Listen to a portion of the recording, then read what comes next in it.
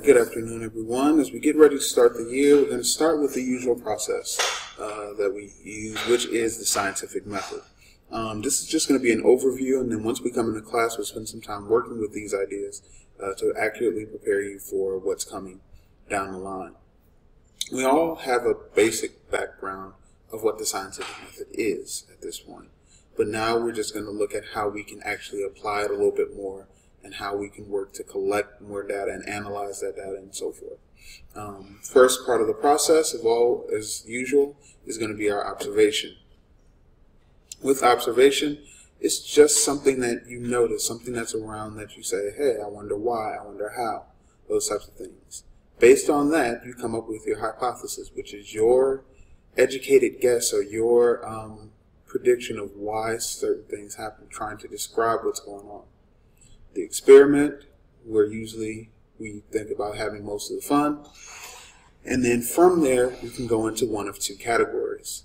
It can continue going on through that process if you, you know, have to refine your hypothesis and whatnot, or it can go into becoming a scientific law or a scientific theory. What's the difference between the two? Well, a theory, like, you know, the Big Bang Theory or the theory of evolution or um, sure there's some other theories we could possibly throw in there.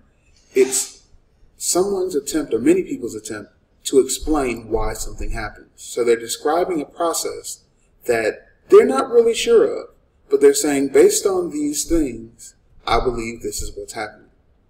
Now, how is that different from a scientific law? Well, when we think of a scientific law, we think of things like the law of gravity, the law of conservation of energy, law of conservation of mass. These are things that happen, but there's no explanation as to why. Usually it goes back to some math or some other things, but there is no definite explanation to describe why it happens. It's just known that this is how it is and this is how we'll proceed from there. Now, I want you to take, a, take your time and I want you to come up with a few other theories. What are some theories that weren't mentioned? And why do you think, or what would be the obstacles to actually being able to prove them or make them a scientific law. We'll pick this up in class when you come in. Have a good one.